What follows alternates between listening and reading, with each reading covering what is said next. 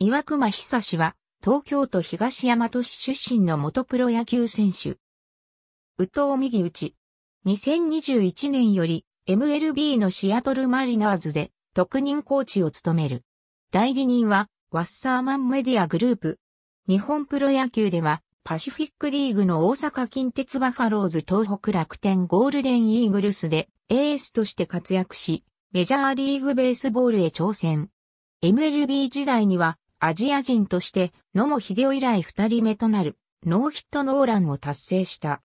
楽天の球団創設時にプレーした経歴を持つ最後のプロ野球選手でもある。小学校1年生の時から野球を始める。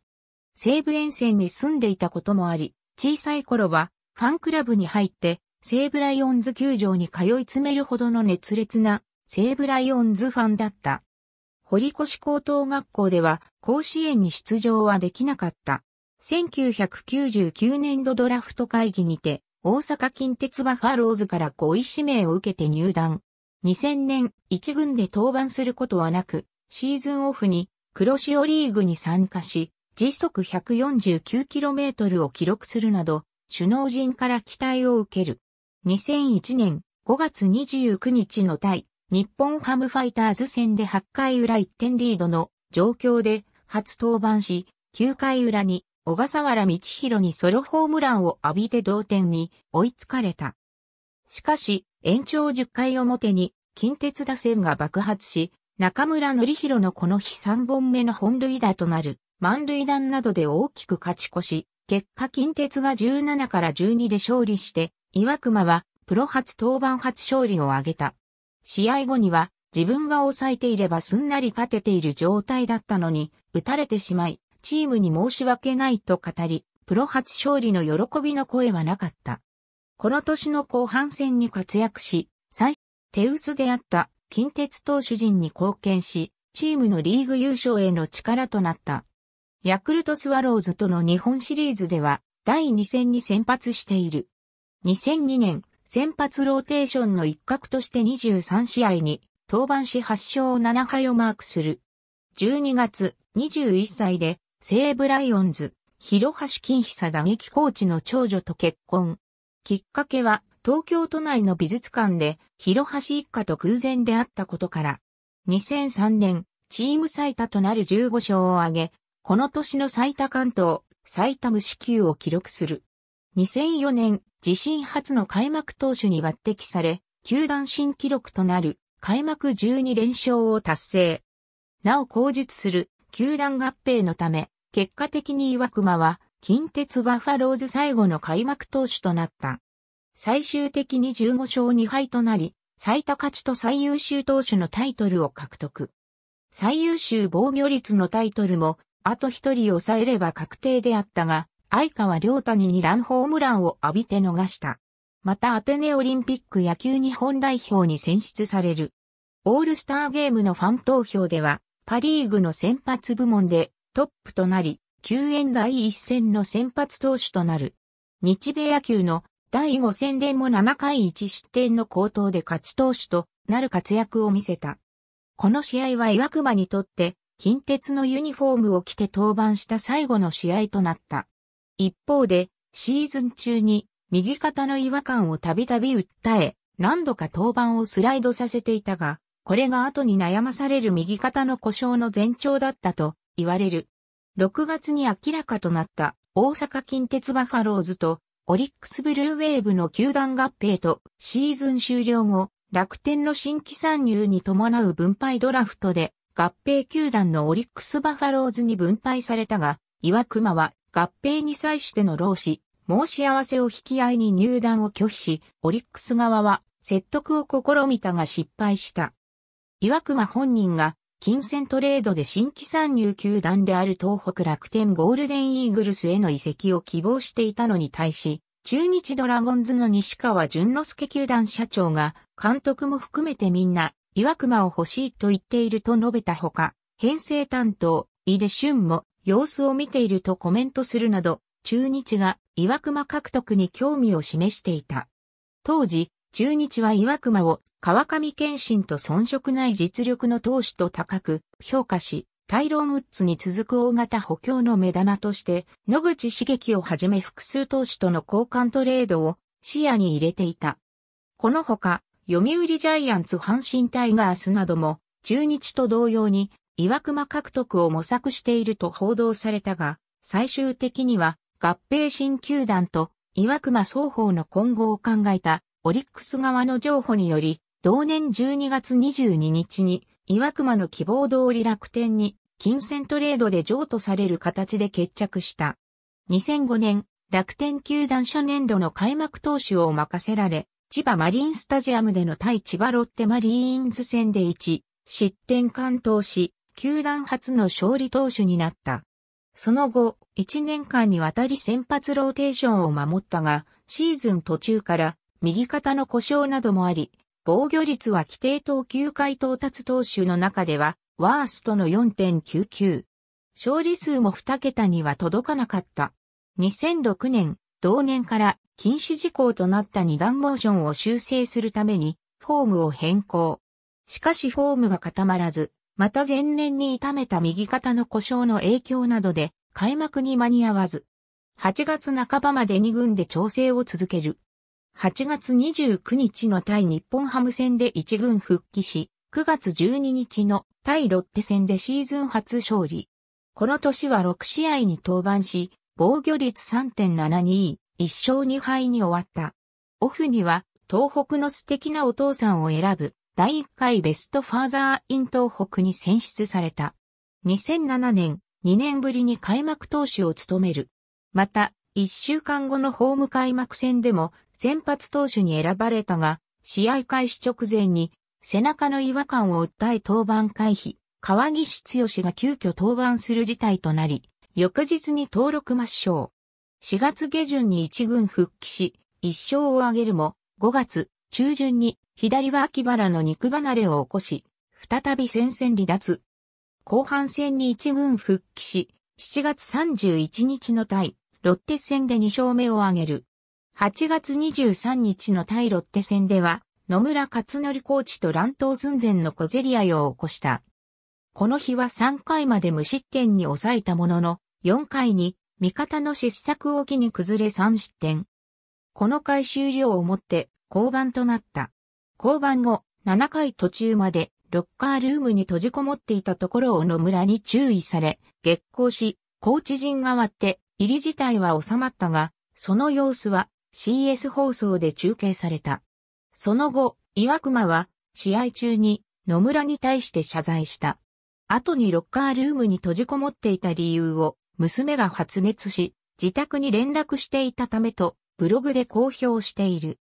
その後もシーズン終了まで先発ローテーションの一角を務め、規定投球回には届かなかったが、最終的に16試合に登板し5勝5敗、防御率3.40を記録。シーズン終了後の10月に曲げるだけで痛みを感じていた右肘の軟骨除去手術を受ける。2008年6月22日、広島市民球場にて2008年2年連続4度目の開幕投手を務め、7回1失点の好投を見せるも自身に勝敗はつかず、チームはさよなら負け。3月27日の対オリックス戦では楽天移籍後初の完封勝利を無四球で挙げた。その後も勝ち星を量産し5月上旬に去年に並ぶ5勝、6月15日の対巨人戦で4年ぶりの10勝目を無四球完封で挙げる。前半戦を19試合の先発で、両リーグトップの14勝を記録するも8月の北京オリンピック日本代表にまさかの落選。本人も悔しさをあらわにした。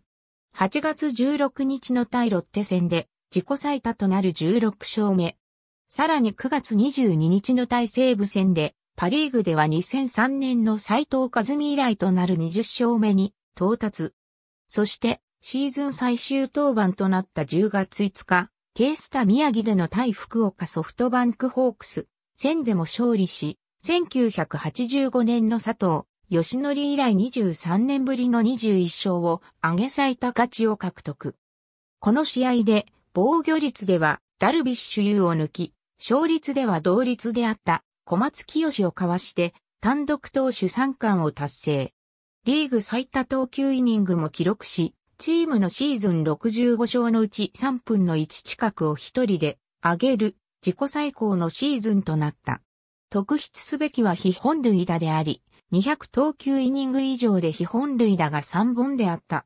200投球回数以上で非本塁打3本以下という数字は1958年に秋元優作が記録して以来50年ぶりの快挙であった。オフの各表彰ではチームが5位であったにもかかわらず、沢村賞、最優秀選手、ベストナイン、最優秀バッテリー賞など、投資関連の主要な賞を独占。最優秀選手の B クラスチームからの選出は、1988年の門田博光以来、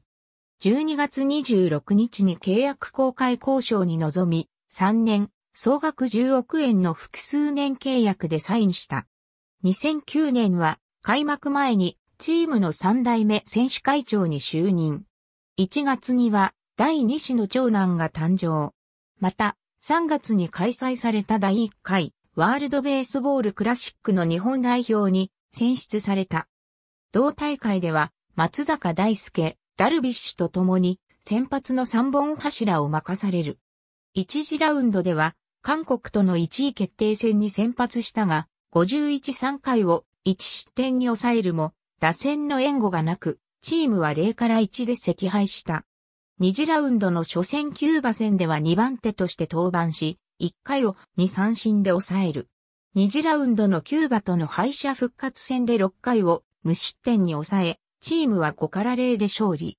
この試合では、キューバ中堅手のヨエニス・セスペデスが、小笠原道弘の放った中飛を落球するなど、霧深い悪質なグラウンドコンディションであったが、守りやすくしようと、フライを打たせないようにしたと、低めにスライダーやシュートを請求し、アウトの15、18は内野ゴロで打ち取り、一次リーグで最も本塁打数の多かったキューバ打線を完全に手玉にとって準決勝進出に貢献した。決勝の韓国戦では、笹具重根と投げ合い、大会史上最高投球回数となる72、3回を2失点に抑える回答を見せる。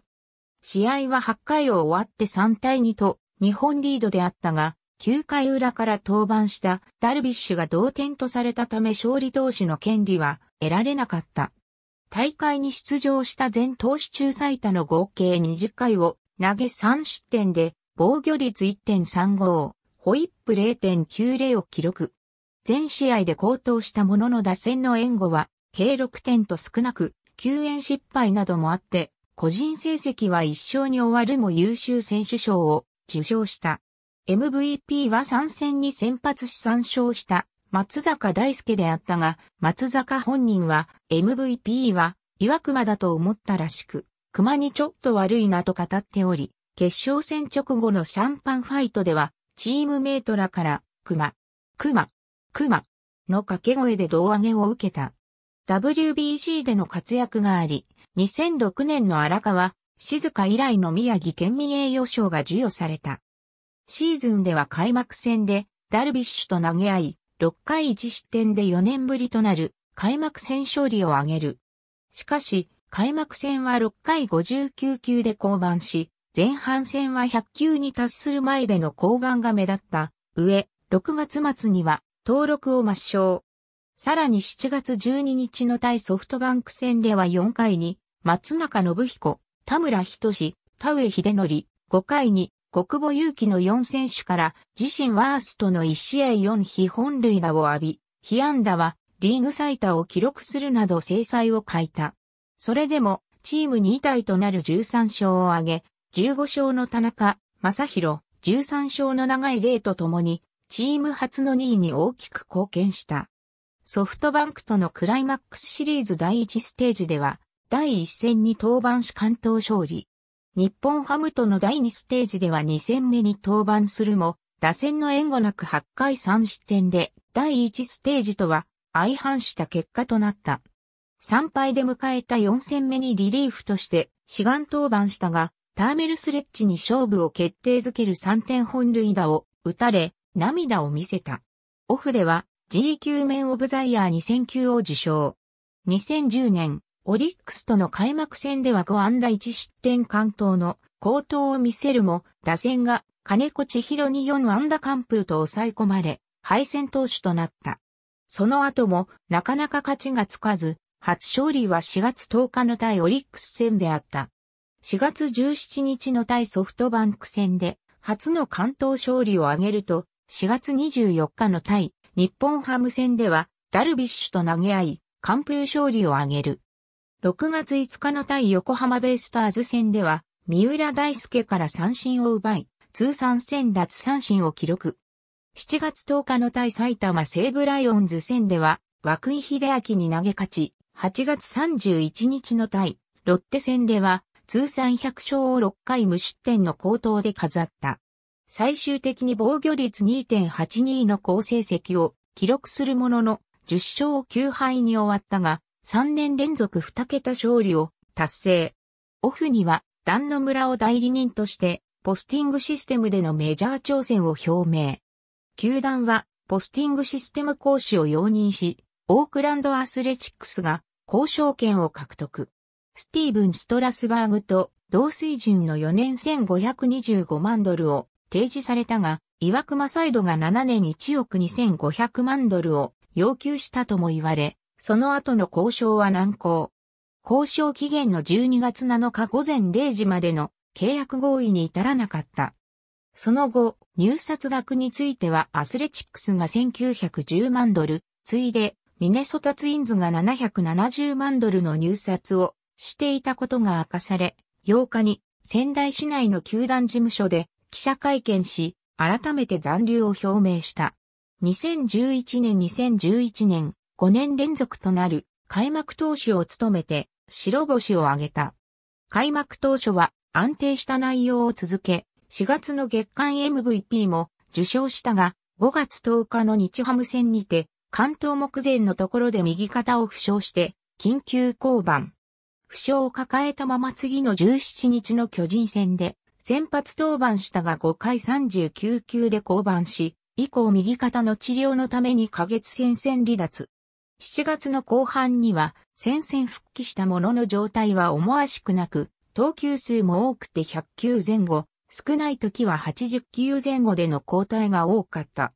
それでも QS 率82.4%を記録し、規定投球回には届かなかったものの防御率2.42、ホイップ1.05の成績を残したが、打線の援護に恵まれなかったため6勝7敗と4年連続2桁勝利とはならなかった。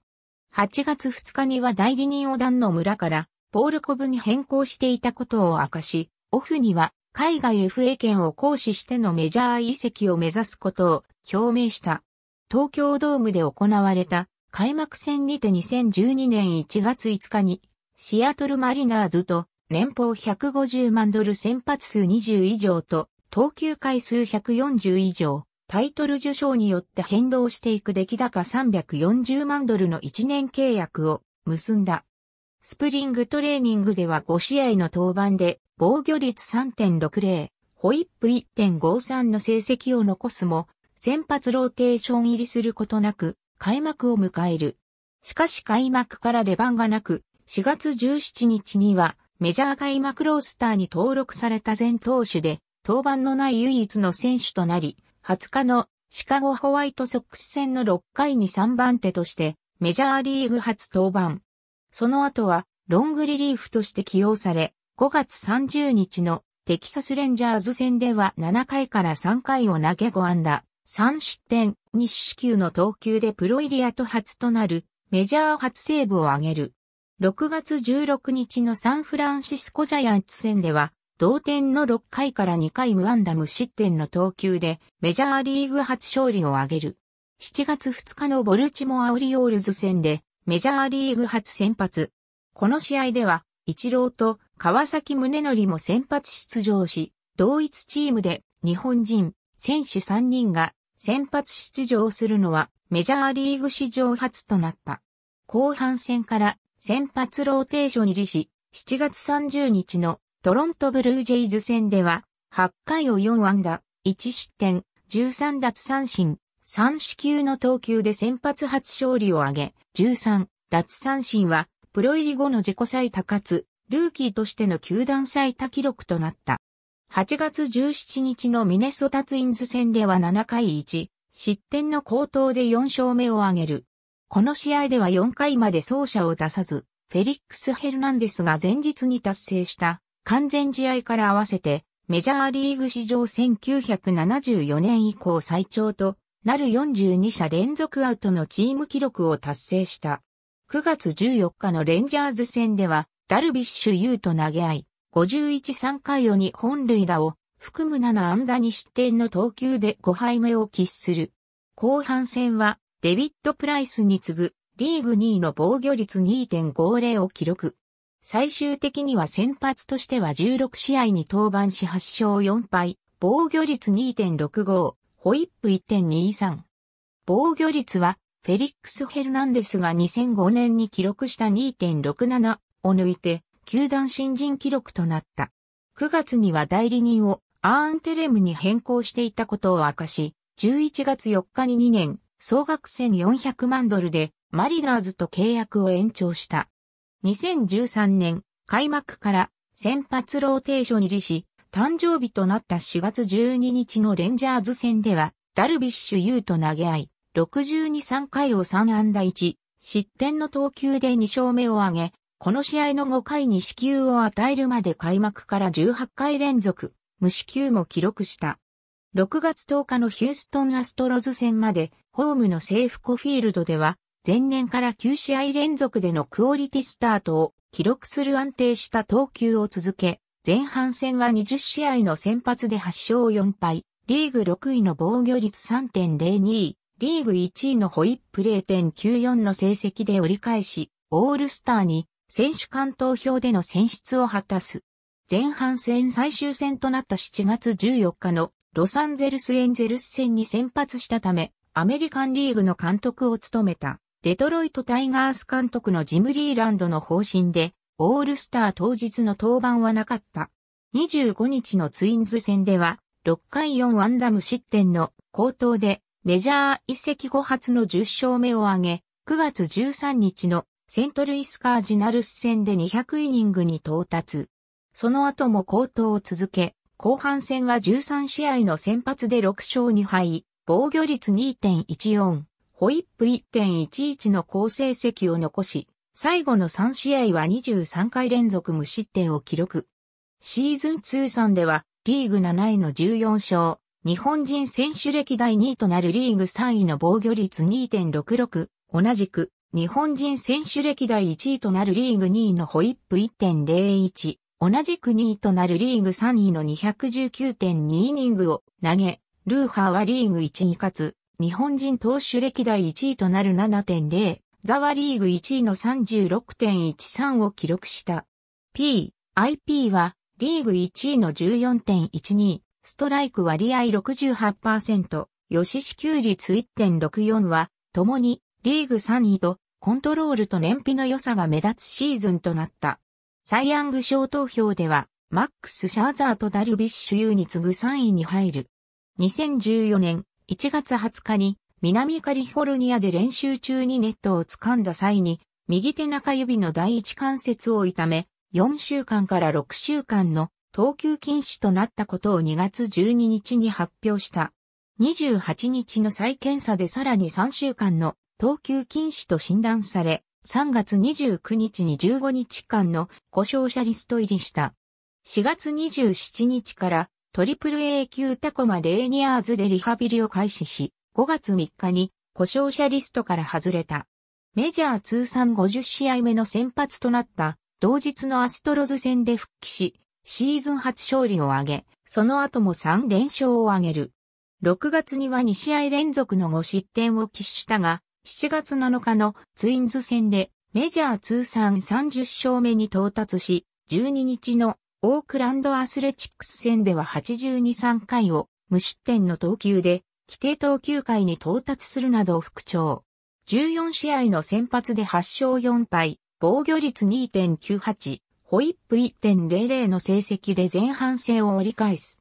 7月29日のクリーブランドインディアンス戦では、日米通算2000投球回に到達し9勝目を挙げる。10勝目を挙げた8月8日のホワイトソックス戦で、前年からの合計350イニングに到達し、翌年の契約オプションの更新条件を満たす。9月5日のレンジャーズ戦で2年連続の14勝目を挙げ、チームもワイルドカードを争う好調を見せていたが、その後3連敗を喫し、9月は防御率7.61、ホイップ1.56と絶不調に陥る。シーズン最終登板では61-3回を4、安打2失点の投球でメジャー自己最多の15勝目を挙げるが、チームは1勝差で13年ぶりのポストシーズン進出を逃しシーズンを終えた。この年は吉球21と抜群の制球力を見せた。オフには日米野球2014の MLB 選抜に選出され、東京ドームでの第2戦に先発登板した。2015年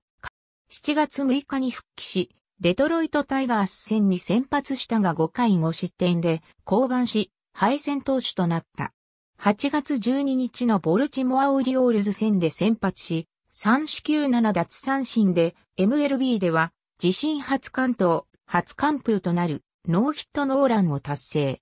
日本人選手としては2001年の野茂秀夫以来2人目の達成となった。2015年のメジャーリーグレギュラーシーズンでは4人目、DH 制のあるアメリカンリーグでは3年ぶりの達成となった。先々離脱もあったため、20試合の先発登板に止まって規定投球回到達を逃した。調子の波が大きかったこともあり、防御率はメジャー移籍後ワーストの3.54だった。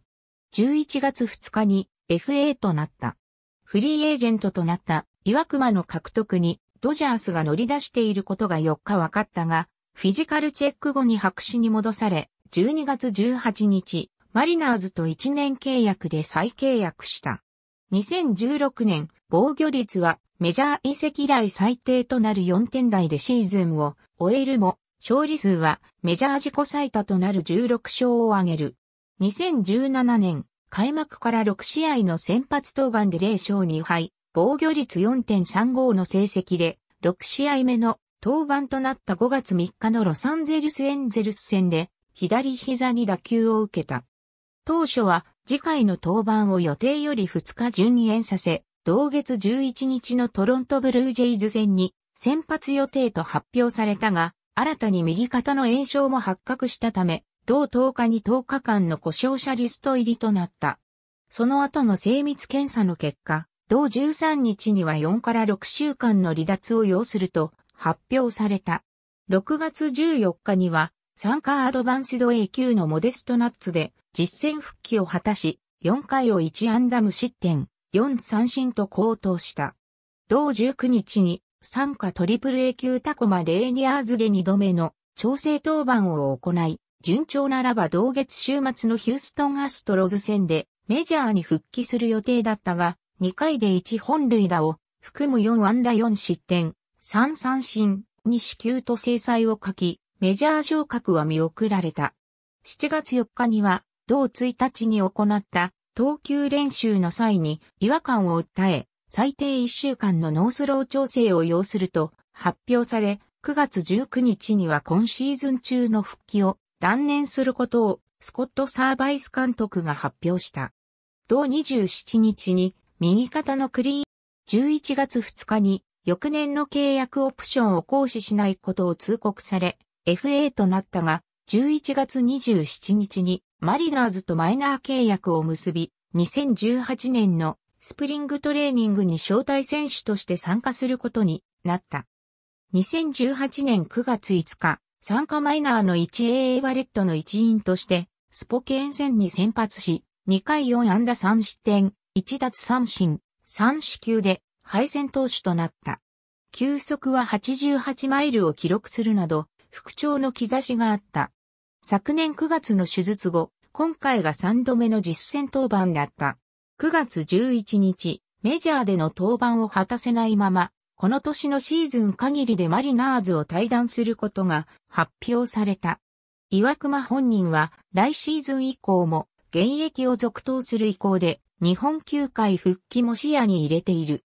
9月26日の本拠地でのオークランドアスレチックス戦の試合前に始球式を務めた。2018年12月6日に読売ジャイアンツが岩熊と契約を結んだことを発表し、12月19日に入団会見が行われた。背番号は21。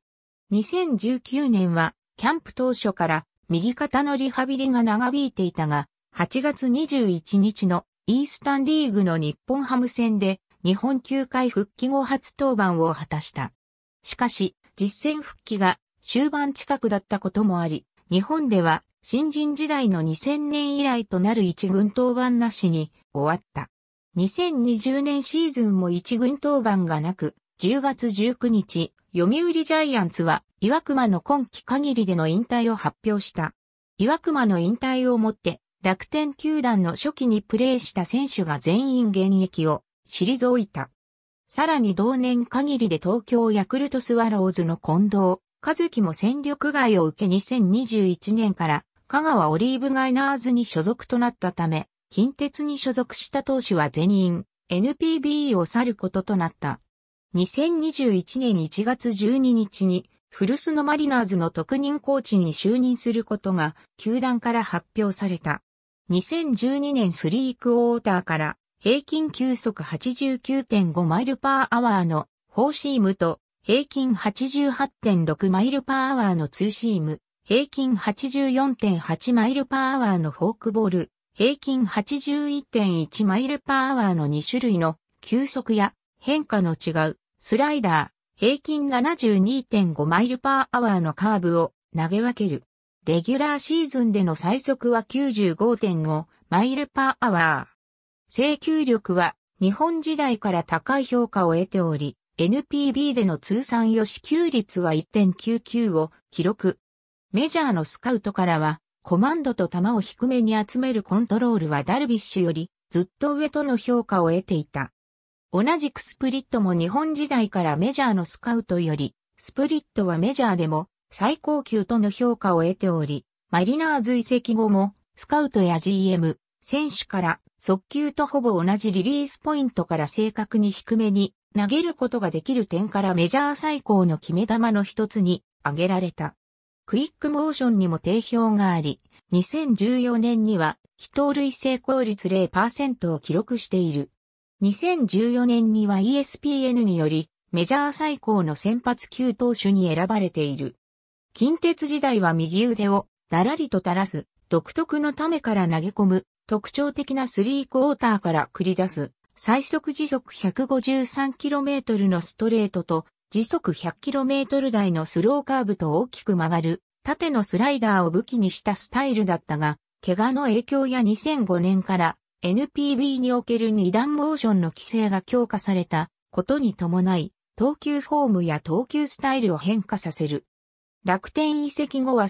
また、楽天移籍後は肩に負担の大きい縦のスライダーを大投げしないようになり、真下か、シンカー方向に落とすフォークボールを中心に、斜めに小さく曲がる横のスライダーや、右打者の内角へ切り込む速いシュート、時速 110km 時速 120km 台で、打者のタイミングを外すカーブを稀に使って、アウトの65%近くをゴロで稼ぐ。打たせて取る投球を進化させた。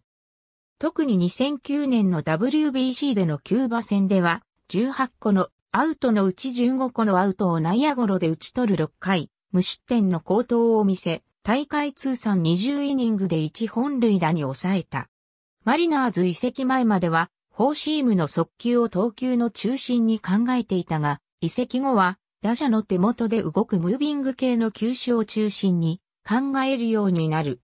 シュートはツーシームと呼ぶようになり、日本時代に使っていた右打者のインコースを攻める投球に加えて、右打者のフロントドアや左打者のバックドアを攻める投球を身につけた。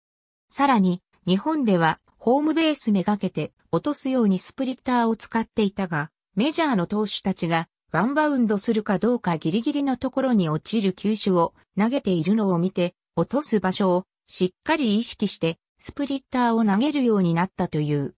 また、マリナーズ移籍前の2011年には、右肩鍵盤の故障から球速が落ちていたが、移籍後は前日の通り平均球速89.3マイルパーアワーを記録している。練習ではラグビーボールを一回り小さくした楕円形の長球を使ったキャッチボールをしており、肘を故障したことを考慮して、肘の位置を確認しながら投げているという。これにより肘の位置が前年と比べて高くなったことで、フォークの落差が大きくなったと話している。右投げ右打ちだが、もともとは左利きであり、食事やペン等は左手を使っている。愛称は、熊、催眠術師。近鉄時代は、何話のプリンス、また当時監督の梨田正隆からは、足の長さ、細さからバンビちゃんとも呼ばれ、楽天移籍後は、森の貴公子と呼ばれた。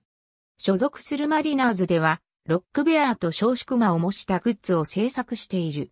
高校の同級生に、足立由美、佐藤恵里子がいる。怪我をしてシーズンを棒に振った経験から無理をしないことを心情としているため、大敗している場面でもないのに、球数100球未満で降板する場面がたびたびあり、楽天時代の監督の野村克也やサンデーモーニングに出演している張本勲などにチームのエースとしての姿勢に反する行動と批判されたことがある。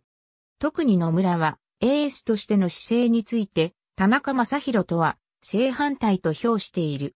2008年のセパ交流戦で優秀選手賞を受賞した際、賞金の100万円を岩手、宮城内陸地震の被災地に寄付した。2016年4月25日、この月に発生した熊本地震を受けて、熊本県に対して2000万円を寄付した。NPBMLB 国際大会、その他初記録初記録説明の記録その他の記録、NPBMLB 国際大会。ありがとうございます。